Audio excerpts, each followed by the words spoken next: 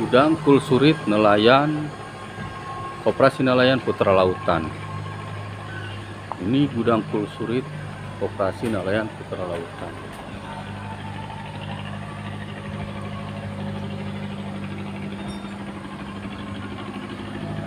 Kami di sini menampung berbagai macam jenis ikan.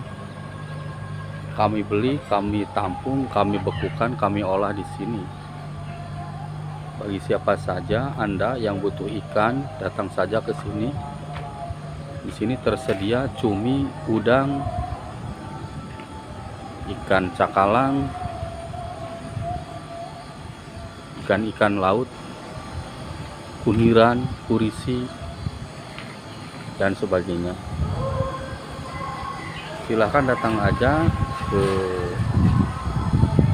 lokasi kami